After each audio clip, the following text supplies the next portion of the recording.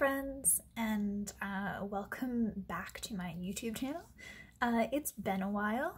Uh, for those who don't know, I, I just graduated college uh, on in the middle of December, um, so I took quite a bit of a break uh, from YouTube and basically everything else in my life to uh, you know, finish finals and everything and, and get my my college existence in order. Uh, but as I said, I graduated, so I'm back and we are rapidly approaching a new year.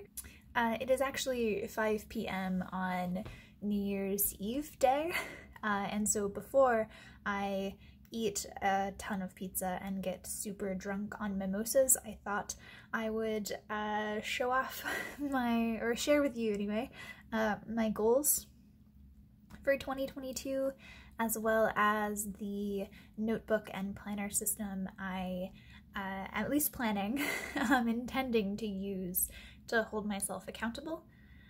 Um, yeah, so let's just jump right in. Um, for starters, this is the uh, Footprints cover um, for the A6 size. It's a Hobonichi cover. Um, yeah, Footprints by Saul Leiter. Uh, I love this cover. Um, I'm not historically a cover person. I've never really understood why people use them. Um, but I went sort of crazy this season. Um, I had my birthday November 18th, uh, 17th, excuse me. I graduated college December 18th, and then um, Christmas obviously was the 25th, and I had sort of um, an influx of money slash gifts um, and uh, you know, I know, I gave myself a license to buy entirely too many stationery products um, for like um, over a month uh, long period, and this was one of them, and I, I absolutely adore this. It's so cute. Uh, for those who don't know, it's just like a, you slip your book into the sides, it's like a folio um, of the planner cover, and then there are pockets on the side which people typically, you know, you can keep stickers or you can use it as a wallet and keep like your credit cards and stuff in here.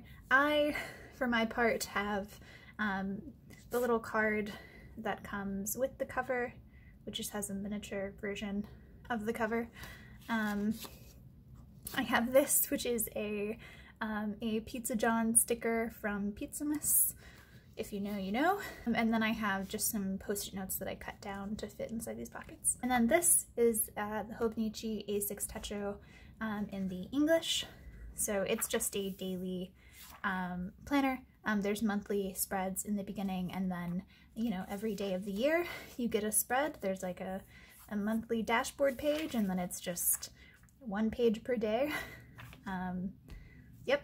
And then the other thing I have, which is what we're really here to see, uh, is this. This is a um, Hobonichi A6 a notebook. It's just a really thin notebook. It has like 48, it has like 48 pages of Tomoe River paper in it. Um, so it's, you know, again, super thin. Um, and they're designed to be able to slip into, this is a bad example. Um, if you had a plastic cover on this, you would be able to slip this inside the plastic cover and it would sit nestled within the notebook because it's smaller than the A6. Um, they sell them for A5 and the Hobonichi Weeks as well, um, both of which I also have. I love these.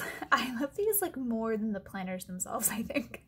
I mean, not really, but they're amazing. I want to like, I'm, I'm fighting the impulse to hoard these um, because I think they're so useful uh, and so, so such brilliant little notebooks. Anyway, um, this, and if it's not evident already, uh, this is my goal uh, tracker little companion book that I'm going to walk through, and then I'll talk about how I intend to use the Techo to sort of support my goals in general. Um, but let's just start with the goals themselves, I think. So this is the uh, companion book that I will be housing uh, information on my goals inside. Um, and then this will be kept inside the planner cover with my A6 Techo. Um, I'm just going to walk through the goals themselves, run through those really quick, explain this little bit, and then I'll go into each goal specifically. Uh, yeah, okay, so my four goals for 2022 are first, uh, to overcome my fear of writing, two, get a job, three, pay attention to what I pay attention to, and four, cultivate a wardrobe that better represents who I am. As you will see, um, the second and third goals each have sub goals um, or sub tasks. Um, in the case of the third goal, um, I'm gonna discuss those more specifically uh, when we get to them. Uh, and then down here, I have this section that I've labeled in my orbit. I also, I considered calling this an idea parking lot. Um, but these are like things that I, it would be really nice to do or like ideas I have for things that I might want to do, but that I'm not committing to. um, they're just things that I want to keep in mind in case uh, it, it, becomes something that I can or should do. Um, so the first one is to publish, uh, this is publish Comfort Women paper. Uh, for my, my final semester of college, I wrote um, a research paper uh, on the Comfort Women issue in South Korea and Japan, um, and it uh, I was suggested by my professor that I should develop it um, and potentially have it published. So if I want to do that, I need there's a lot of work that goes into it. I am not completely certain if I'm going to. It depends sort of just on how the first month or so of the year shakes out, but it's something to keep in mind. Uh, secondly is also related to the paper. I want to submit it for an award um, at my college. Uh, third, I have a book review blog. I've been playing with the idea of starting one. I think it would be sort of fun, um, but again, I don't want to like overcommit to that. Um, if it's something, it's here, it's written down. If I want to circle back to it, then I can make it a goal, but at this time, it's just something that I'm keeping in mind. Uh, daily stretching is something I want to do. Um, again, I'm not committing to it, it's just something that would be nice to do, and I have it written down to return to. Uh, third, write monthly essays on big ideas. Um, that's that's pretty self-explanatory. Um, non-gaming streams.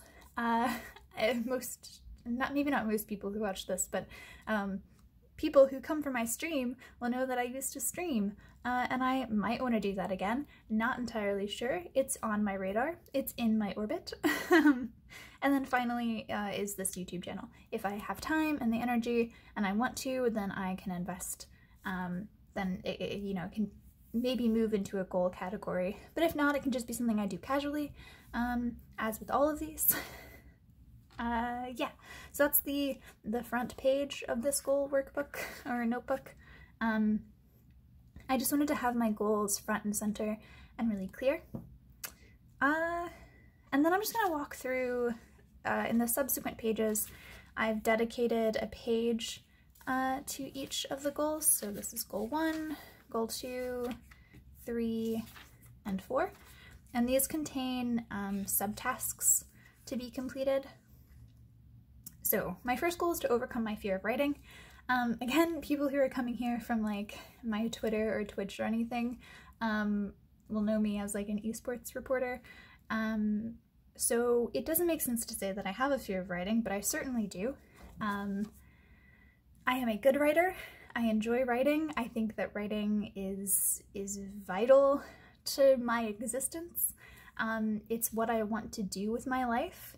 Um, but I've sort of developed uh, a real a real fear around it, um, where it's really hard for me to um, actually start writing something, which is why uh, in my final semester of college, and even the one before that, um, I could really only start working on my papers when it was like at the deadline, which like screwed me over quite a few times.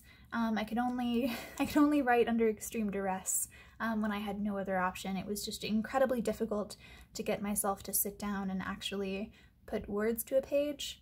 Um, I think there's a lot of various reasons for that, but that I won't go into. Um, but my strategy um, for overcoming that is, is basically to write. Uh, a if you can see here, it says daily writing warm-ups, both fiction and nonfiction. I'm gonna do a video um, on these because someone asked, and also I don't think this is something people talk about very often, but I really enjoy them.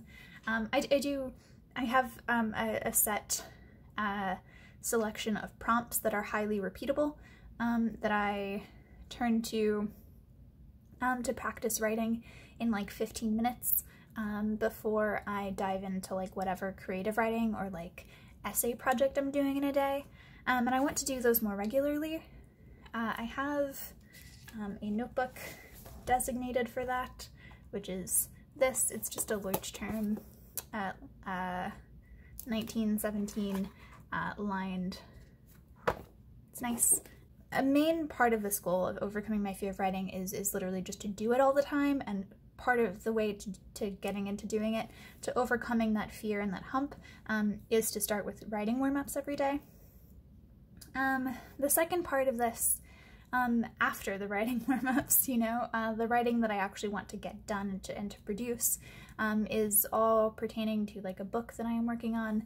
Um, my sort of ultimate goal is to become a published author, and so uh, to that end, I've been working on a book for a while. I've made the mistake in the past of deluding myself into thinking that if I can just plot the story, if I can just get it exactly right, then I'll be able magically to write the book to the outline, to the plot I've got, um, to a T, and then revision and everything will go super quick.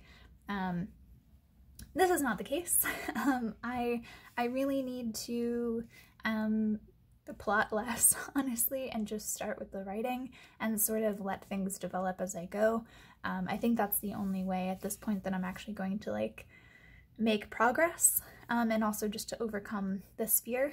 Uh, so yeah, so on one hand, daily writing warm-ups, and on the other, um, I just want to produce um, writing regularly where I puzzle up the story as I go, um, and I am just working on, on you know, I'm actually writing the book even though I don't have the plan entirely in place. You'll notice that this is not a measurable goal um, at the moment. I'm hesitant to put any like word counts or anything to it because um, uh, I will be, my, my other goal is to get a job um, especially hopefully in quarter one of 2022. So I don't know how my schedule and stuff is going to shake out or what I'm going to be able to do or what's going to be reasonable. Um, but I will say that for now, my goal is basically to write um, either five of seven days a week or ideally uh, every day. Um, but, but we'll see. This will sort of develop. I will check back in with this later. So my second goal is to get a job. Um, pretty self-explanatory, I think. Uh, I just graduated college. I have student loan debt and, you know, rent payments and stuff. I need to exist as a person. Um, so there's a lot, a lot of subtasks that go into that, and they're like they're boring things like update LinkedIn and update my resume and that that sort of stuff. Um, but it's gonna take a lot of time and energy, and this honestly is like the number one. It's it's it's my second goal because um, I think writing is like more essential to who I am as a person um, and my happiness as a person. But this is like the super practical um, goal that I need to accomplish really within the first quarter of the year. And then I have two sub goals related to this. The first is to um, move house. Oh, I think people are setting off fireworks outside and it terrified me. Okay, sorry. Um, yeah, I'm currently living in an apartment on campus, um, well, off campus. I will be here until the summer, which gives me um, a lot of time, as I said, to figure out a job and then figure out where I want to move. Um, these sort of play into each other. Um, I'm going to be searching for jobs in the cities uh, like Columbus, Ohio and Indianapolis, Indiana that I would potentially like to live in. Um, but I will also be, uh, you know, if I get a job in like New York or LA or Chicago or whatever, um, then I will potentially be moving to one of those cities uh, based on that. So these are not entirely dependent upon each other. Um, I mean, one isn't dependent upon the other. Um, they're dependent upon each other. Anyway, so this will also have a lot of subtasks once we get to it, um, but for the time being, because I don't have a job, because I don't really know where I want to move yet. Um, my main tasks here are to uh, visit Columbus and to visit Indianapolis. Um, again, ideally within the first quarter of the year. And then my second goal related to getting a job is to pay off um, a private student loan that I took out. Um, I have federal student loans to pay off as well, but those, um, A, have a lot, uh, their interest rate is a lot lower, and uh, they've, they're deferred a lot longer. Um, my private student loan is only about 10k and I have been paying interest on it. Uh, it's super doable um, to pay it off uh, in a timely fashion. Um, I just need to get a job. I'm actually lucky enough that if I get a job and have like a stable income for a little bit, um, I don't need the full 10k to be able to pay this off. Um, I can like pull from savings and pay it off, but I, I need the stable income first. Sort of subtask for this goal is I'm going on a stationary no-buy for the first six months of 2022. Um, this is partially just, you know, financially speaking, I need to save the money, um, but also uh, I just have a lot of stuff, a lot of stationary items like ephemera and things that I want to use and I'm going to force myself to use them. Um, I've been doing that lately and it's been really nice to just sort of work through all the stuff I've collected. And then the second task is to develop a grocery budget. Um, I, I don't have one. okay, my third goal is to pay attention to what I pay attention to. Um, this is a quote uh, it's actually pay attention to what you pay attention to. But anyway, uh, this is a quote that I know from John Green, but that he he's quoting someone else. Um, but it's something John Green uh, in like the Anthropocene Reviewed and other content that he's created um, talks about a lot that like really resonates with me, and in particular resonates with my um, my difficulties with social media. This this I said the overall goal of this goal is to boost creativity and minimize distraction. And and that's as simply as I can put it. I want to um, make a better effort of knowing exactly where my attention is going.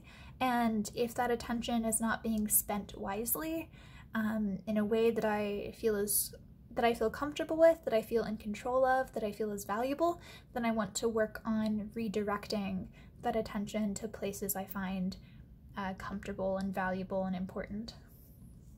So, um, with that in mind, I have a couple of strategies that this involves. Um, the first is nightly reflections in my A6 Techo, which is, again, uh, this, which I'll talk about more in depth in a minute. I also have mindful nightly journaling in my A5 Avec. I, I, I will do another video on that, but my journal for the year where I'm going to like record like what I do in a day, that sort of stuff, will be an A5 Cousin, the Avec version. And I went to journal in that nightly. The way that I've plotted out my, my days, at least as long as I know what my days will look like, um, is that like every night from 9 to 10 p.m. I'm going to wind down by working in all of these journals. I'm like setting aside a designated hour every night to do this stuff. And when I'm journaling in that Avec, I want it to be focused and intentional and mindful. Um, so no listening to like YouTube or podcasts or anything in the background, um, just like, I don't know, instrumental music or something. Maintain media journal to encourage self to engage more deeply and critically with more challenging media. Um, my media journal is also right over here. Uh, it is this thing. Uh, this is a Midori notebook uh, in the B6 slim size. Um, so it's like kind of narrow, kind of short. I'm always sort of um, trying to explain these terms um, and like refer back to the notebooks and stuff because I have some friends who watch my videos who like aren't nearly as deep into stationery as I am, so I want to help them out a little bit. anyway, it's just a grid notebook, uh, and in here I um, I take notes on the media that I consume, everything from uh, books to television shows to movies, which are like the obvious big three, um, but also music, um, tweets, and like tweet threads that I see that I think are particularly interesting. Um, a lot of uh, like uh, articles. Um, so this one, for example, this is like seven pages of notes on a New Yorker article that I read called The Case Against the Trauma Plot. It was super interesting. Um, a lot of this is me like snatching like quotes and like just rewriting things, but a lot but other sections of it are me like responding to it um, and like sharing my own ideas that, that are emerged from this. Um, I've done this in the past with, uh, oh, and then up here, I, I read The Last Graduate re recently. So good, loved it. Um, and, and, you know, I journaled about that as well. Um, I've done this in the past in different notebooks. Um, I just haven't had a designated notebook for it, and I really want one. Um, so that's what this is for. Uh, I find this incredibly useful and it, it really does help with my, my goal of boosting creativity um, because it helps me to engage with really complex ideas. It gives me like an incentive to read more interesting, challenging articles um, and books and things because there's like a space to work out those ideas and to like work out my thoughts in response to those ideas um, versus just reading it and then like not producing anything from it. Um, and then, uh, you know, I also just really like notebooks, so it gives me something to journal about. Um, and and it, I don't know, it like creates a collection of all of the media I've consumed that I found um, important and engaging. Um, so, and, and again, that's media that's like Tumblr posts, tweets, um, if I saw like a really interesting Instagram post or something, which like has never happened, but whatever, um, that all goes in here. I'll do another video on this uh, once it's a little more full. I just started it, so. Um, what else? Uh, write regularly, see goal number one, so that's sort of obvious. Um, if I, uh, oh, and then the other one is read books regularly. Um, all of this really amounts to if I'm doing these things, writing and reading, and then also journaling and stuff, that I find uh, valuable and important, then I'm going to be paying attention to, to those things, and thus won't have any attention left to spare, uh, to devote to um, the stuff that I don't find as important or I don't find as fulfilling or nourishing. So that's the way this goal works. My fourth goal is to cultivate a wardrobe that better represents who I am.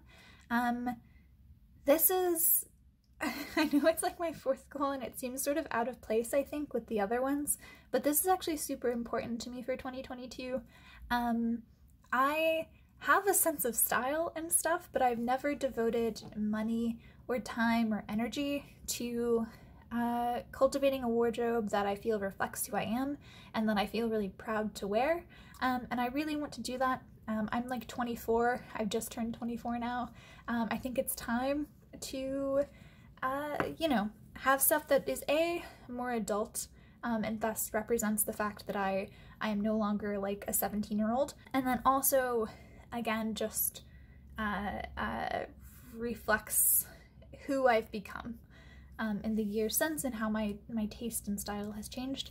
Um, there's a whole bunch of stuff that goes along with this. This will develop over the year. This isn't something I'm looking to finish um, super quickly, and it's something that I'm hoping to do on a budget and while uh, shopping at thrift stores as much as possible. And again, because I want this to be really intentional and like cultivated, I'm going to be very careful to not impulse purchase clothes because I've done that in the past and then I end up with a bunch of clothes that I don't like. Those are my goals. Um, I hope that made sense. I know it was pretty long.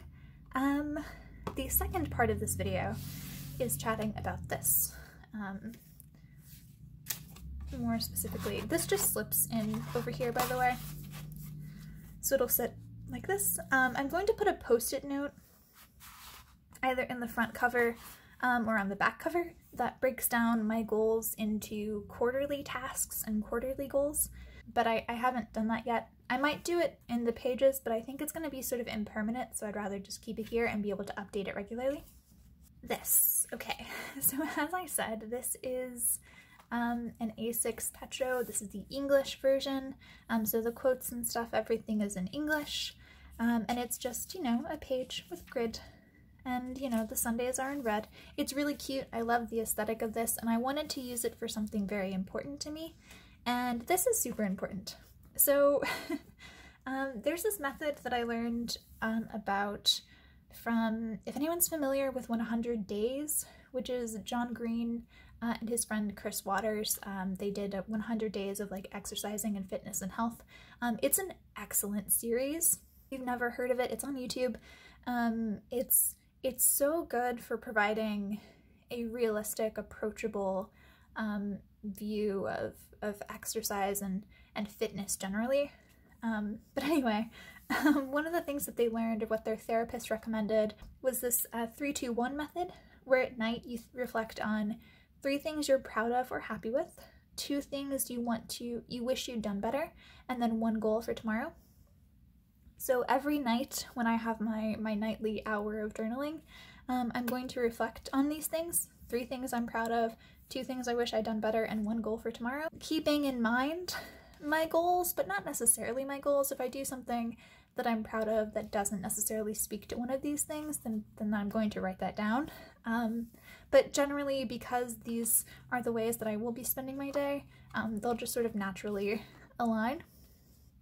Two things I wish I'd done better in that day, and then one goal for tomorrow. So that'll be the, the top section.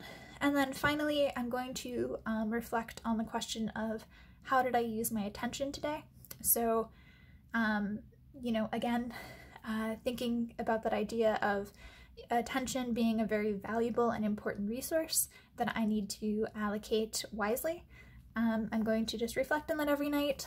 Um, I might give myself like some sort of score or something. I'm not sure how uh, how quantifiable I want this goal to be. Um, it might just be journaling and I'll just reflect on it, um, or I'll do maybe some mood tracking um, as an alternative. But either way, um, that's what this journal is going to be for. Um, this is the pencil board. I think it's so cute. Isn't this just so cute? Um, this is again the Saul Leiter, the same uh, photographer. Um, yeah, okay, so this has gone on for like 30 minutes, I think, so I'm gonna call it quits there. If you have any questions, um, let me know. Uh, subscribe if you want, or don't. Uh, thanks for watching. Goodbye.